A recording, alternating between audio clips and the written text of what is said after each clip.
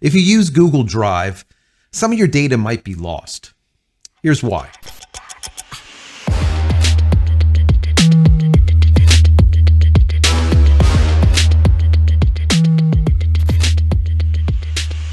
Hey everybody, welcome back to the channel. Thank you so much once again joining me for tea time. Today we have a little bit of fireside. That's our digital fireplace. We had a real one last week, but not this week. We're digital. In Florida, that's all that you get. Anyways, I hope you're joining me with your cup of tea, maybe a cup of coffee, hanging out, talking tech, talking photo, talking video. Today is a technology day. We're going to be talking about Google. I know you guys love Alphabet, don't you? I mean, I do. It's a lot of stuff that they do right, but sometimes they do things wrong. And we want to talk about it a little bit. I've told you guys many times on this channel in the past that it's just not safe to store everything in the cloud and not have local backups, but a lot of people still do it. Are you one of those? You know you are. Don't do it. Anyways, I was reading an article over on Bleeping Computer and it was talking about how people were losing their data, folders were missing, data was missing and they weren't getting very far with Google's support. So I want to read this article to you because I think it's very important. So if you are a Google Drive user, you might want to go into your Drive and take a look at the landscape. See if there's any folders missing, see if there's important data missing. If there is, you need to put in or file a case. You need to put in a trouble ticket so something can be done and then you are added to this massive number of users that have lost data. So we're going to get into this, but before I do, I want to say that if you haven't downloaded any of my ebooks, go check them out. They are 100% free. Go over to jcristina.com forward slash books. Also, if you enjoy this content, even then at least throw it a thumbs up. That would be very helpful. Subscribe to the channel if you would like to. If not, it's okay too. But if you are subscribed, thank you. Click this little button over here so when I go live or when a new video comes out, you'll be notified of it immediately. And if you want to say thank you for all of my hard work, there's a little thank you button. Click on that, give a dollar or two if you like. If not, it's fine consider becoming a member of the channel. That would be even better. And if you're looking for a VPN, look no further. Check out Pure VPN. The nice folks over there gave us a promo code, which is JCristina. It will give you 15% off, additional percent off at checkout. If you don't want to remember that code, go to jcristina.com forward slash VPN. So, guys, let's get into this a little bit because it is important. This is mission critical. All right. So when you're done watching this video, I want you to immediately log into Google, log into your Google Drive, because the majority of us have one. And it doesn't matter if you have a paid for service, right? Where it's Google Workspaces, or if you just have Google for free and you store your data there, still log in and check it out. Let's jump right into the article. It starts out by saying Google Drive users are reporting that recent files stored in the cloud have suddenly disappeared. That's a problem. Uh, this is Houston. Uh, say again, please. Houston, we have a problem. With the cloud service reverting to a storage snapshot as it was around April, May of 2023. Ouch! We're talking about months of lost data, not like a day. Eesh. Google Drive is a cloud based storage service that allows people to store and access files from any internet connected drive via their Google account. It is a widely used service by individuals and businesses as part of the Google Workspace. Quote, there is a serious issue here that needs to escalate urgently. We have a support ticket open. This has not been helpful to date, said a Google Drive user on a support forum. Quote, I pay extra each month to store folders in the cloud so it would be safe. So it is devastating that all of my work appears to have been lost, another Google Drive user posted. The activity logs on the impacted accounts do not show any recent changes, confirming that the users themselves did not accidentally delete them. Overall, there is no indication of user error, but rather a problem with the service's system that prevents the synchronization of data between the local devices and Google Cloud at some point. That is a problem. Some users have offline caches that might contain the missing data, but no known method exists to restore access to the data within them. That's a problem. Google volunteer support agents, what? Google volunteer support agents have posted an alleged response from Google support engineers that confirms they are already investigating the issue. However, an estimate for a fix has not yet been provided. They show the actual quoted conversation between the support person and the person that asked the question. I'll post that here, there, wherever so you can read it. The recommendation for those affected is to avoid making changes to the root slash data folder until the situation clears up and the root cause of the problem is determined. Very important. Once again, let me reread that. The recommendation for those affected is to avoid making changes to the root slash data folder until the situation clears up and the root cause of the problem is determined. Don't change anything.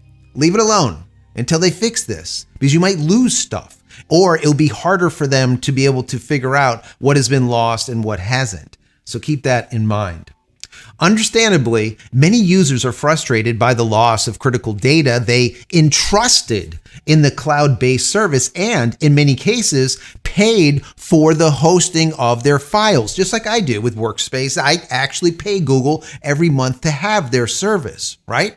So Obviously, I'm not going to use them for my data only or solely. I have many backups, and we'll get into that in just a second. But I also pay Google to have this service, and so do many other people. It's one thing if it's free and something is missing, you're like, eh. But if you're paying, it's no longer, eh. It's like, where in the hell is my shit? A notable aspect to the situation is that Google support forms are backed by volunteers with limited insight or understanding of the cloud service. So the lack of effective assistance in critical problems like this makes it even worse. Hell yeah. How in the f- does a multi billion dollar company support their users with volunteers? They can't pay some people. They can't educate people. I mean, what the hell is that? Volunteers? What are you, a nonprofit? What? What the? F- that, that is the most ridiculous shit I've heard in a long time. I would never have guessed. Would you have guessed? Google's support team is run by volunteers? Bleeping Computer has contacted Google for an update on the status of the internal investigation and whether if the loss of files are recoverable or irreversibly lost, but we have not received a response by publication time. In this situation, Google Drive users should refrain from changing their cloud storage as it might complicate the recovery process like I said. Instead, your best bet would be to contact Google support, open a new case, and monitor for official updates. Until the problem is resolved, it would be more prudent to back up important files locally or use a different cloud service. Like I've told you guys, and like I said at the beginning, I've said this so many times. One day the cloud is going to rain and it's going to wash out all of your important data. And this is the kind of stuff that happens. This is what I've always been talking about, right? Where you think you have your data in the cloud and it is safe, Google or Alphabet is taking care of it.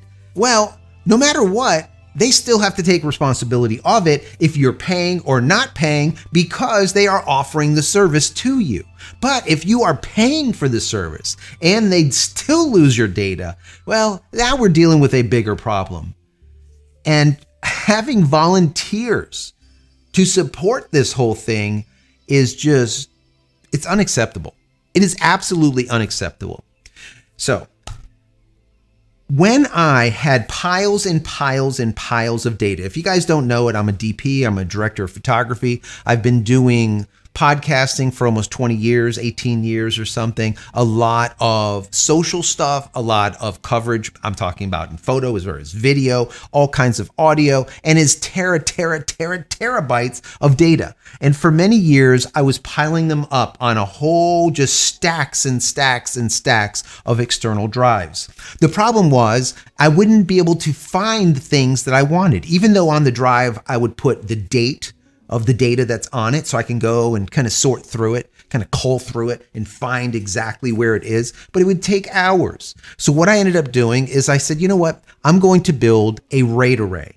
But instead of doing a regular RAID where I had problems in the past where I still lost data, I ended up building an unRAID server. You see this book over here? How to create a digital Fort Knox, backing up your digital life.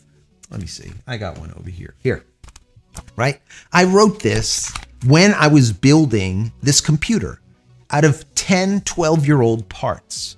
Well, I did this two years ago, and this computer is still running as an unRAID server that houses 40, 50 terabytes of data. That's on 24 hours a day, seven days a week. It's never down. It's always up. It's always there. And I have all of my data at a moment's notice. And I can also traverse through the internet into that box if I wanted to through a secure, I'm not going to get into it, but through a secure connection and still have access to my data, almost like my own cloud. Now, do I only store there? No, because it's local and there's a fire, there's a problem. You have to have three forms of backup, right? If you have one, it's the equivalent of none, right? Two is okay, but two is still one. Three is what you need. You need one local, you need one that's an actual backup, a hot backup like on an unRAID server, and then you need a cold storage backup, people, off the premise, right? Maybe in the cloud, maybe with Google.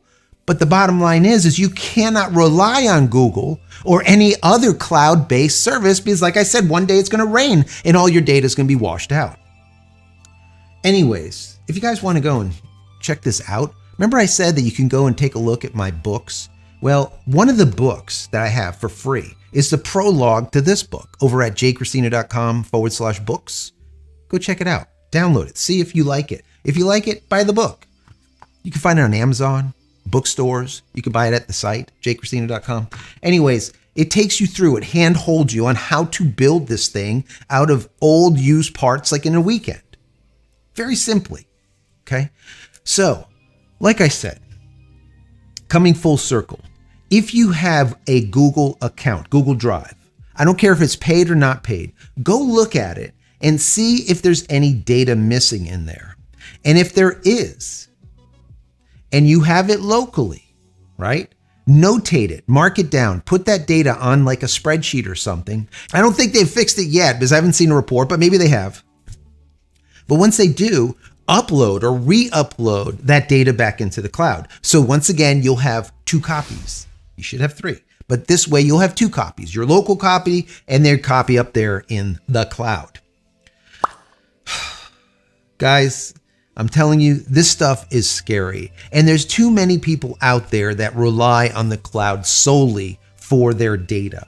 And then one day it's missing, and now what? It's the same folks that pick up a cell phone every year. They go from 32 gig to 64 gig, 128 gig, 256, 512, terabyte, whatever.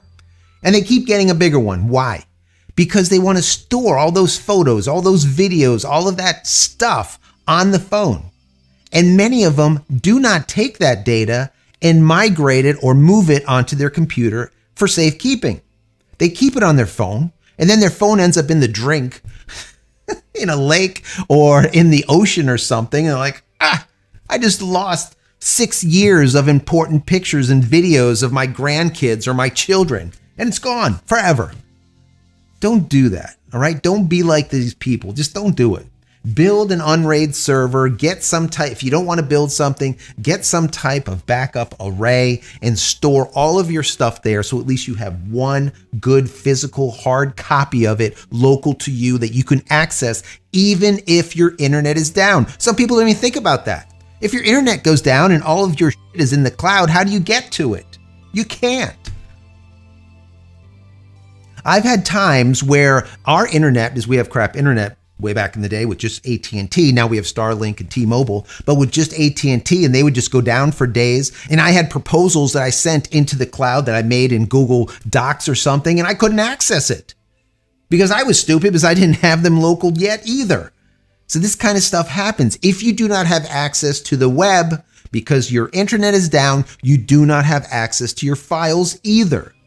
Make sure you have a local copy of everything and then one in the cloud. That's fine. and then one, whatever you want to do as far as cold storage. I personally put everything that's in that unraid server. I take all of that data and put it onto two or three massive slow drives, and then take those drives and mail them off to another location.